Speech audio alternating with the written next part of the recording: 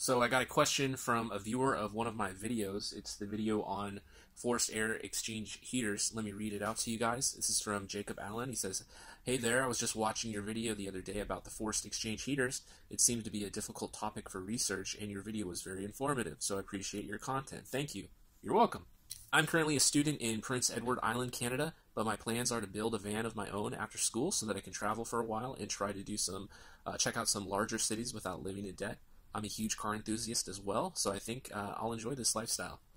So, like I mentioned, I've been researching heating methods for Canadian winter. Here in the Maritimes, it can get as cold as negative 30 degrees Celsius. Woo! That's cold. I'm aware that I will need to insulate more than most builds I've seen. I need to seal every door and opening, as well as I'll need to install a proper vapor barrier within the walls. I'm greatly considering the same Propex heater that you were considering yourself, or maybe the Dickinson stove burner. I have just a few pressing questions, though, uh, in relation to other methods.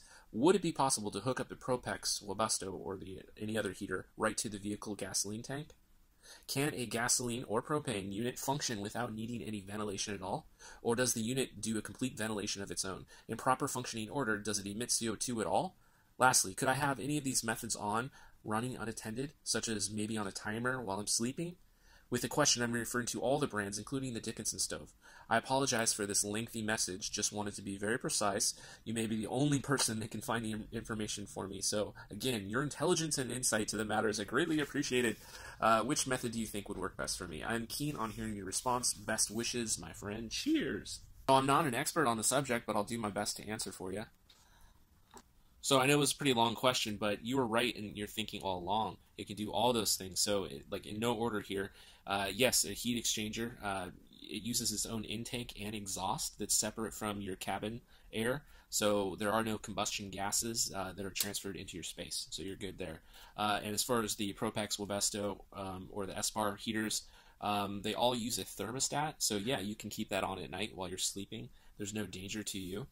And the Espar or Webasto heaters, uh, they can draw from the, the main fuel tank, so you could, with a conversion kit, hook it right into your gas tank.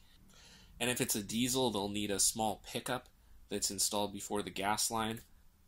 And with insulation, more is always better in colder temperatures, but I find that, and a lot of van dwellers can agree with this, when you're in warmer temperatures and the sun finally does go down, it takes longer for your cabin air to cool down. So with less insulation, it cools down faster, meaning, you know, it'll be not as hot when you're sleeping at night.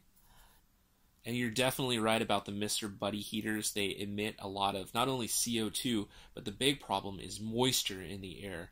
And it's funny because the coincidence here is just, uh, and I think Mike of Living Free's last video that he uploaded, he talks just about that topic right there.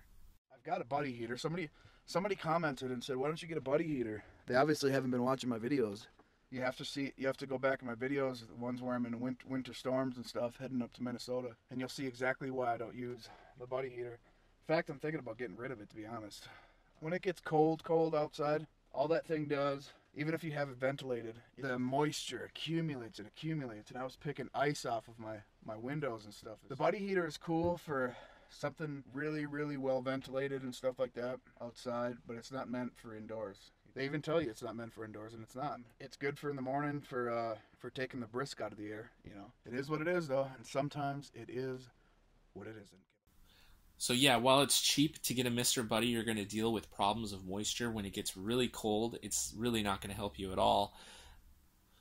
But that's why you pay more for these forced exchange heaters. There's a lot of benefits to them, but the installation is more involved, right? Like I said, my idea, I think it would be really cool to take the uh, exhaust from those, the toxic exhaust from those forced heat exchangers, and coil them, snake them into your uh, through like a PEX pipe or some sort of uh, metal piping. That way, instead of that heat being exhausted of those toxic fumes outside, you can still benefit from some of the heat and it's much like a rocket stove. So the exhaust can be coiled around and provide thermal transfer to your floor, so it's a heated floor. And along those lines, another method of heating uh, would be, and it's depending on if you can tap into the coolant system of your car, your vehicle, and maybe run that through PEX piping that would go through all of your flooring And while insulation is really important, you need to keep in mind that the environment you're in, you need to get the proper insulation. It's, it's very cold over there. You said negative 30 degrees. Uh, polyiso is a very popular insulation. About one inch of that is the norm. Uh, but you need to be aware that in very extreme cold temperatures, there is a uh, one of the compounds in polyiso liquefies, so that could be a problem. You might want to research the proper type of insulation for your environment. Anyway, I think you were right on. Basically, just think of and a quick way of illustrating the difference between a Mr. Buddy heater. So a Mr. Buddy heater will just combust all the and all the gases are emitted right into the living space.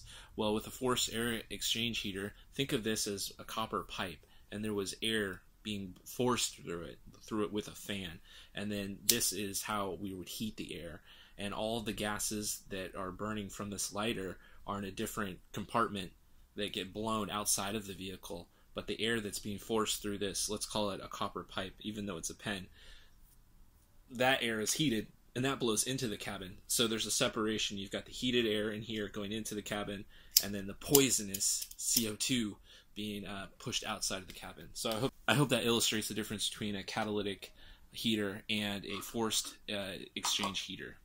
All right, man. I hope that answered your questions, and thanks again for that ten dollar donation. Anybody else have questions? I'll be happy to answer them. Thanks a lot.